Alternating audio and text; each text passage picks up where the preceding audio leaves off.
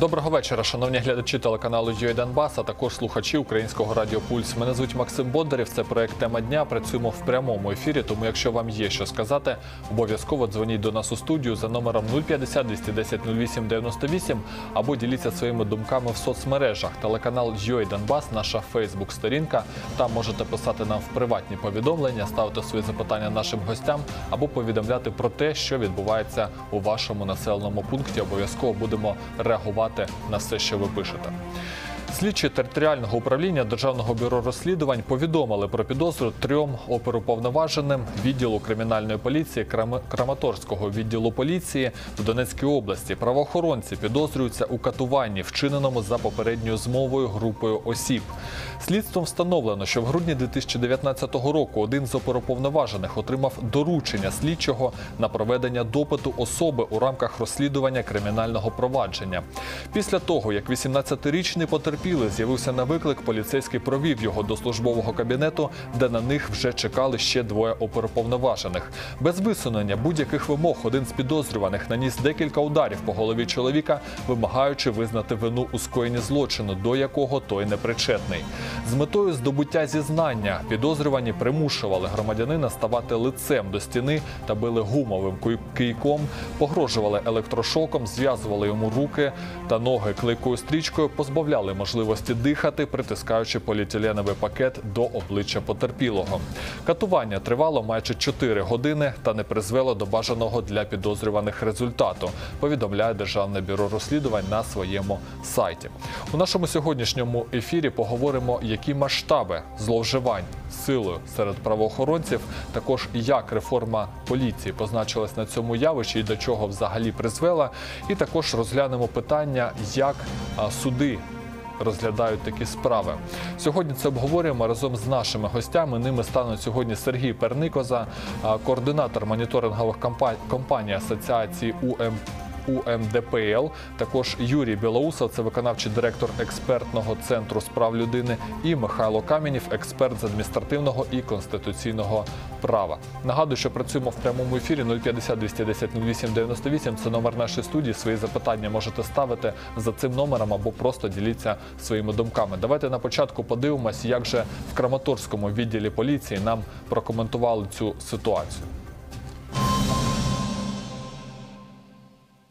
Це три співробітника кримінального блоку Краматорського відділу поліції. Ви знаєте, звісно, що досудове розслідування ДБР проводить. Одного працівника звільнено з органів внутрішніх справ. Двом сьогодні обрано запобіжний захід у вигляді цілодобового домашнього арешту, і тому надалі їх буде відсторонено від посади. Слідчий ДБР буде готовий окреме подання у суд чи клопотання щодо відсторонення від посади. У нас керівництво поліції взагалі тримає, ну звісно, на контролі дотримання співробітниками своїми прав, свобод людини. Так взагалі закону. Якщо вже виникають такі ганебні випадки, вибачте, то керівництво зазвичай приймає ну принципове рішення відносно таких Мгм. співробітників.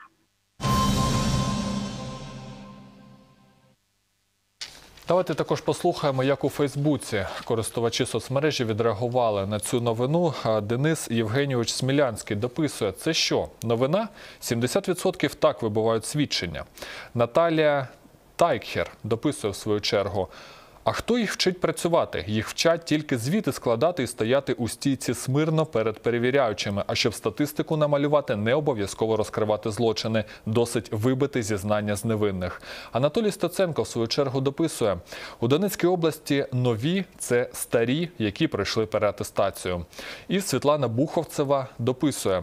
От би посадили, взагалі не маю права на них, землі під собою не відчувають. Анна Буць в свою чергу дописує: а що довести провину поліції можна? У них же кругова порука.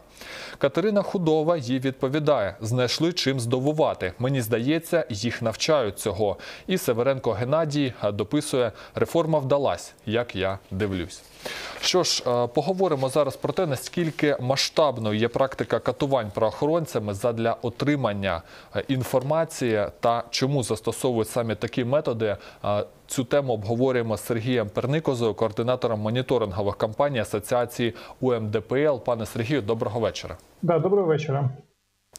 Пане Сергію, відразу хочу вас спитати: от катування поліцію заради свідчень, це на ваш погляд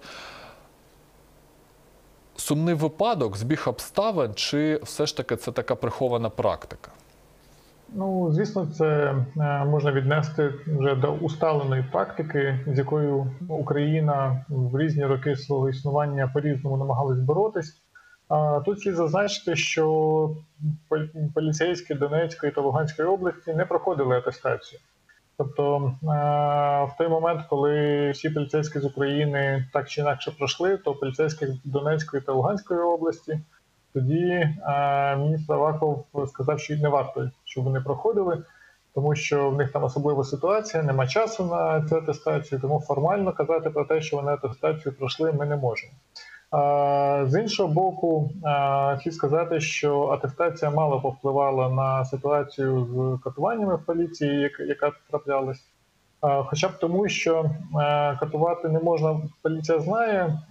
Інше питання, чи знає вона, як розслідувати справи, не застосовуючи катування, жорстоке поводження.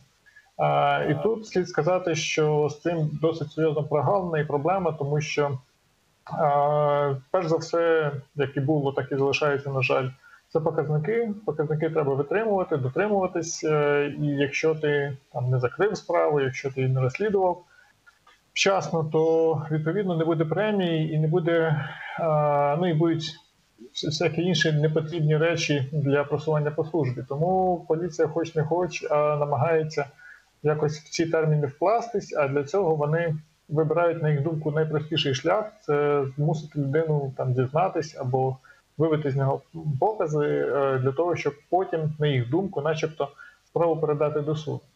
Інша справа, що це робить тільки гірше, тому що якщо людина була дійсно винна, а в суді з'ясовується, що її катували, то потім притягнути її до відповідальності надзвичайно важко.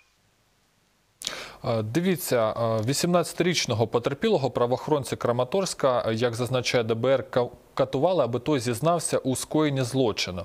В той же час відбулись зміни до кримінального кодексу, за яким цінність для слідства е, признання вона невілюється. Який тоді сенс е, в тому, аби катувати людину? Ну, як зазначалось, е, до цього сенс для них таки є. По-перше, їх мало буде хвилювати, що далі від- відбудеться в суді. Їхня справа передати справу до суду. А як там уже суд вирішить, ну вони можуть сказати: ну що ж, ми на, на суддю не впливаємо, як він вирішить, так і буде. По-друге, е, дуже часто не обов'язково саме зізнання отримати. Можна отримати якісь дані щодо того, де людина перебувала, що вона робила і чим вона власне займалася. Адже потім на підставі цього можна вибудувати правильну стратегію е, щодо розслідування справи. Якщо ми знаємо, що ви там 2 листопада перебували за кордоном, то звісно можна підлаштувати дані таким чином, щоб потім звинувати вас а, там в цьому злочині, не згадуючи про друге число. Ну це для прикладу.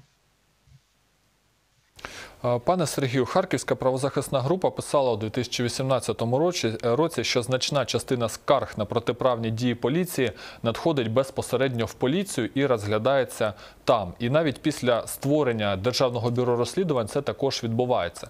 Я посилався зараз на інформацію 2018 року. Чи змінилось е, щось у 2020 році? Хто власне приймає такі заяви про катування? І, і наскільки взагалі ця схема ефективна або неефективна, е, коли ми говоримо про розслідування злочинів правоохоронців?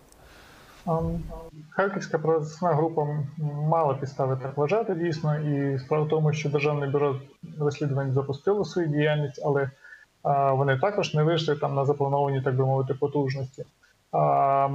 І воно присутнє знову ж таки не всіх областях, і потрібно комусь таки збирати дані щодо е, того, хто власне вчиняв катування, допитувати їх, проводити слідчі дії. Ну але про це детальніше, я думаю, Юрій Білусу вам розповість. Також Харківська правозахисна група пише, що незаконне насильство в поліції продовжує залишатись вкрай латентним феноменом. Більшість потерпілих нікуди не повідомляє про такі випадки, не воліє та воліє уникати розмов про це. Результати їх моніторингу 2018 року вказують на те, що навіть серед осіб, які зазнали від поліції порушень їхніх прав, переважна більшість це 97% не подавали офіційних скарг. Як ви е, порадити діяти у випадках, якщо правоохоронці застосовують якісь методи катування до вас, куди порадити звертатись? Ам, Як би це банально не звучало, але найефективніше це написати заяву в Державне бюро розслідувань або відповідно в прокуратуру. А якщо справа, ну це власне найефективніше. Якщо справа не рухається, якщо справа ну, там спускається на гальма, або якщо ніякої реакції немає, то найлегший, найпростіший метод в даному випадку це суспільний розголос. Тобто е, зібрати там матеріали, можливо, відеозаписи, можливо, аудіозаписи, можливо, додаткові речі, і спробувати через ЗМІ або через соціальні мережі надати розголос цій ситуації. Е, На жаль, поки що це залишається одним з ефективних методів впливу на ситуацію. Подякували вам, пане Сергію, за те, що приєднались до нашої розмови. Сергій Перникоза, координатор моніторингових кампаній Асоціації УМДПЛ, був з нами на зв'язку. Нагадую, що працюємо в прямому ефірі 050 210 08 98. Це номер нашої студії. Харківський інститут соціальних досліджень провів національний моніторинг незаконного насильства в поліції в Україні протягом 2004-2018. Ними опитано 19,5 тисяч респондентів, серед яких 45% – це чоловіки, а 54% – це жінки. Відповідно дослідження, кількість випадків побиття, страждань чи катувань в поліції дещо зменшилась з 641 тисячі в 2017 році до 546 тисяч у 2018. В Харківському інституті соціальних досліджень констатують, що негативна тенденція до зростання кількості випадків насильства, яка виникла в 16-17 роках, вона призупинилась, проте загальний масштаб залишається досить значним. Як справи катування правоохоронцями підозрюваних розглядають у судах, поговоримо з Юрієм Білоусовим, виконавчим директором експертного центру з прав людини. Пане Юрію, доброго вечора. Е, Доброго вечора. Єдине, що внесу відразу корективу. Наразі я очолюю департамент офісу генерального прокурора, якраз який розслідує катування. Не працюю в офісі експертного центру. Дякуємо за уточнення, пане Юрію. Е, Скажіть, будь ласка, от користувачі місцевих е, краматорських груп Facebook висловлюють сумніви, що правоохоронців Краматорська можна притягнути до відповідальності у суді за катування. Як у судах розглядаються такі справи? Ну, власне, взагалі, е, розслідування такої категорії справ і притягнення до відповідальності це така системна проблема для України, на яку неодноразово звертався Європейський суд, що в Україні немає механізму розслідування катувань. І це дійсно була системна проблема протягом тривалого часу, коли до суду саме за катування в рік направлялося по всій Україні ну десь до 10 кримінальних справ. Направлялося тільки до суду. До реального відбиття покарання доходили одиниці. А, крім катувань, ще є близько 30-40 кримінальних проваджень на рік направляється за так зване перевищення сили, коли застосовується насильство, але воно не нагує до рівня катувань. Таких справ, як я казав, також 30-40 на рік. В середньому направляються в суд, до вироку також доходять одиниці. І власне тому була ідея, да, от наприкінці минулого року створити окремий підрозділ спеціалізований е, в офісі генерального прокурора, який буде за- займатися виключно цією категорією кримінальних проваджень. І ми дуже сподіваємося, що зараз, вже маючи спеціалізацію, наші прокурори не розслідують жодні інші кримінальні провадження, тільки катування та незаконні затримання. Ми сподіваємося, що це дасть результат. Ви сказали, що невеликий відсоток притягають до відповідальності. Е, Можете пояснити, з чим це пов'язано? Е, Традиційно для прокуратури це була проблема. Ну, по-перше, не було окремого органу, е, який розслідує ці речі. З'явився з'явилося державне бюро розслідування, яке має саме спеціалізуватися в тому числі на катуваннях. А для прокуратури це завжди була проблема, бо прокурор, який е, наглядає за справою, да, який зацікавлений в тому, щоб ця справа щодо підозрюваної особи як можна швидше пішла до суду, отримує скаргу від цієї особи, що її били. Ясно, що прокурор починає розуміти, що цю скаргу треба розглядати, це затягне направлення справи до суду щодо цієї особи, яка можливо вчинила злочин. І тому бажано, мабуть, не реагувати на такі скарги. Я думаю, що тут ще величезна проблема була у такому ментальному сприйнятті. Досить часто працівники правоохоронних органів і прокуратури приймають скарги на катування, як знаєте, ну щось таке несерйозне. Вони вважають, що люди видумують, чи люди хочуть таким е, чином уникнути відповідальності за можливо свої дії, які вони самі вчинили. І тому це ставлення, воно, на жаль, існує. А зараз, ми коли почали з цим працювати зараз, коли це вже генеральний прокурор це визначив це пріоритетний напрямок, то ми бачимо, що потихеньку, потихеньку починаються зміни відбуватися. Вже в цьому році, наприклад, тільки нашими працівниками, да, у нас невеликий підрозділ, але вже ми е, п'яти працівникам правоохоронних органів вже оголосили підозру саме у покатуванні. Ще кільком саме за перевищення сили і е, неправомірне застосування сили. І діапазон тут йде від, від патрульних поліцейських до працівників карного розшуку. Крім того, ми моніторимо ситуацію по країні бачимо, що потихеньку починають активізуватися обласні прокуратури і починають такі справи реально доводити до суду. І знаєте, для мене тут головне, що саме правоохоронці, які застосовують катування, вони мають розуміти, що це ну, не має жодного сенсу, да, з точки зору їх навіть роботи. Бо, по-перше, їх це можуть покарати, і покарання до 10 років реального позбавлення волі. А по-друге, якщо вони катували когось, то будь-які докази, які вони зібрали за допомогою катувань, вони втрачають будь-який будь сенс взагалі, і судом не будуть брати до уваги. Але повторюсь, поки головна проблема це таки змінити ставлення всієї правоохоронної системи до катування, що це ненормально, це ненормальна практика. Система звикла до цієї форми роботи, але треба змінювати ці підходи. Скажіть, будь ласка, на ваш погляд, скільки може знадобитись на це часу? Я перепрошую ще раз, скажіть, будь ласка. Може знадобитись часу, аби змінити ставлення до катувань серед правоохоронців?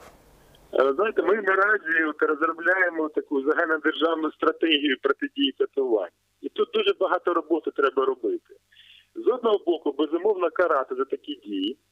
Бо от зараз, коли ми, наприклад, обрали там суд обрав домашній арешт для, для, по цій справі в Краматорську для трьох працівників поліції, їх же колеги бачать це, що їх всіх- всіх колег, які працювали в цьому ж кабінеті разом з ними, зараз вже під домашнім арештом. Скоріше за все, вони позбавляться своєї роботи і будуть покарані. Це дуже сильний стримуючий фактор. Але тільки покарання мало однозначно. Треба багато по іншим напрямкам. Треба навчати правоохоронців, як ефективно розслідувати злочини без насильства, як ефективно збирати доказову базу. І це потрібно займе певний час. Це стратегія, яку ми наразі розробляємо загальнодержавно, як мінімум на три роки. По всім напрямкам буде йти робота. І попередження катувань, і розслідування і покарання за це, і інформаційна робота. Бо насильство, на жаль, знаєте, поки наші люди будуть сприймати насильство в принципі як такий допустимий формат роботи, насильство щодо дітей в своїх сім'ях, насильство щодо жінок, то власне поліція відбиває лише ці такі, знаєте, тенденції в суспільстві. Треба працювати. Я вірю в те, що можна за, за- за 3-5 років може дуже суттєво знизити рівень катувань в поліції. Я особисто вірю. Подякували вам, пане Юрію, за те, що долучились до нашої розмови. Юрій Білоусов був з нами на зв'язку. Нагадаю, реформа поліції почалась ще в 2014 році. У вересні в МВС оголосили, що міліцію трансформують в національну поліцію. У грудні процес трансформації пострадянської міліції в поліцію був запущений, і у липні 2015-го перші патрульні поліцейські вийшли на роботу. Так тоді ж, в 2015-му, почалась переатестація працівників МВС, яка тривала близько року. Цікаво, що через суд, за інформацією громадського, на посадах поновилось 3300 поліцейських, які не пройшли переатестацію.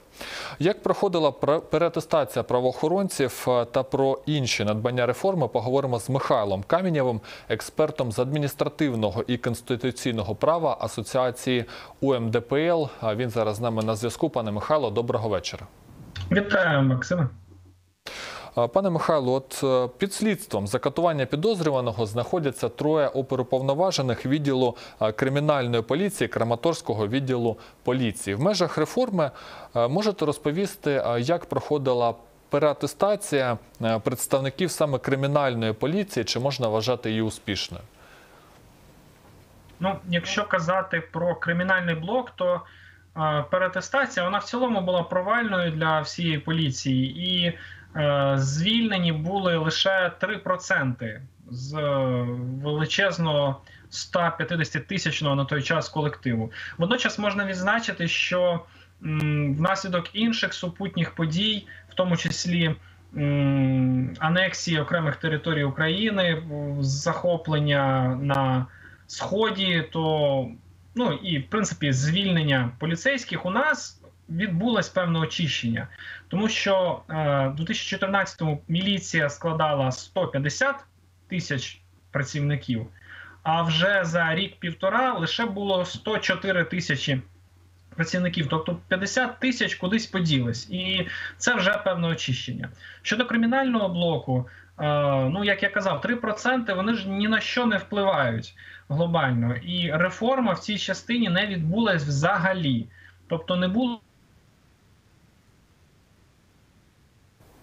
Нагадую, що працюємо в прямому ефірі 050 210 08 98. Це номер нашої студії. Пане Михайло, чи чуєте ви нас? Скажіть, будь ласка. Втратили з вами зв'язок на певний час. Також наш випуск можна подивитись на YouTube каналі Суспільне Донбас. Цей і не тільки цей можна дивитись саме там. Не забувайте підписуватись на нашу YouTube сторінку, ставити вподобайку. Нагадаю, що сьогодні обговорюємо те, що правоохоронці в Краматорська підозрюють у катуванні. Зараз цю тему обговорюємо з Михайлом Каменєвим, експертом з адміністративного і конституційного права Асоціації УМДПЛ. Попередньо говорили про те, як відбувалась очищення поліції, як відбувалась їх переатестація. Е, Пане Михайло, давайте повернемось до нашої з вами розмови. Ви почали розповідати про е, кримінальну е, про, переатестацію працівників кримінального відділу. Так, по кримінальній поліції глобально сталася проблема, що лише 3% звільнених це дуже мало. Це абсолютно не змінює систему. І реформа поліції фактично обмежилась патрульною поліцією, яка і по чисельності це лише 10% від всього складу е, поліції, і взагалі по функціям це такі найдрібніші, найбільш приземлені до простих громадян повноваження, і ну тобто на цьому реформа завершилась. І реформа кримінального блоку її не було. А, спроби запровадити кримінальні проступки, які мали би розвантажити слідство, розвантажити кримінальний блок. А, проступки прийняли парламент, і вони мали запрацювати ще з січня цього року. Але в грудні, коли парламентарі зібрались в комітеті і спитали у всіх органів, чи готові ви е, працювати, чи це в листопаді було, неважливо. Е, Всі органи хором, крім здається, МВС, сказали, що е, ні, ми не готові. Дайте нам ще півроку. МВС сказала, що вони готові, просто тому, що їм треба розвантажувати слідство. Вони прагнуть цієї реформи. Хоча по факту вони теж не були готові до запровадження. Парламент послухав і сказав, добре, відтерміновуємо ще на півроку. І от зараз скоро підходить цей строк, коли проступки мають запрацювати, а поки що не видно, щоб було зроблено щось, щоб це відбулося. Відповідно, у нас, які як і були слідчі та оперативники, так це і лишилось. Е, Ніхто ніяких детективів не запровадив, хоча були спроби робити пілотні проєкти. Е, Хоча ця схема вона показує свою ефективність роботи в тому самому набу.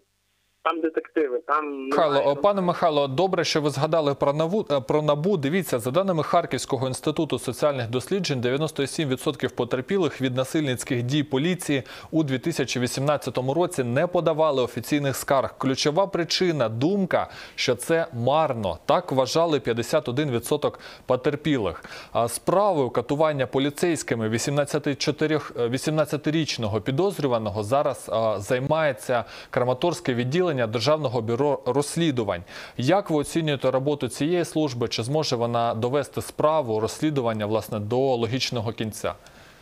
Поки що, на жаль, складно зробити комплексний аналіз ефективності державного бюро розслідувань. Це новий орган, який зовсім недовго працює, і для багатьох оглядачів запам'ятався лише безкінечними скандалами у його вищому керівництві. При тому, що ззовні так виглядає, що ДБР, який забрав слідчі функції у прокуратури. Бо раніше прокуратура саме розслідувала е, такі справи, як катування, ну і які злочини правоохоронців та посадовців. Е, Виглядає, що ДБР розслідує все це з такою самою ефективністю, з таким же успіхом, як і прокуратура. Тобто е, таке враження, що нічого не змінилося, але треба ще трохи часу, щоб побачити, як це працює.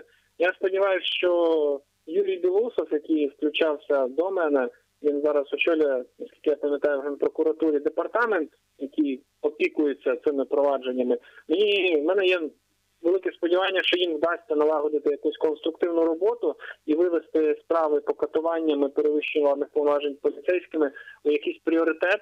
Що нарешті це ну ця проблема стала зникати зі шпальт газет і не через цензуру, а саме через ефективну боротьбу Дякували, подякували вам, пане Михайло. На жаль, обмежені в ефірному часу. Михайло Кам'янєв, експерт з адміністративного і конституційного права Асоціації УМДПЛ, був з нами на зв'язку. Сьогодні для вас працював Максим Бондарєв, а також вся команда телеканалу UA Донбас. Любіть людей та думайте головою, бережіть себе. Побачимось з вами в понеділок о 19.20. До зустрічі. Гарних вам вихідних.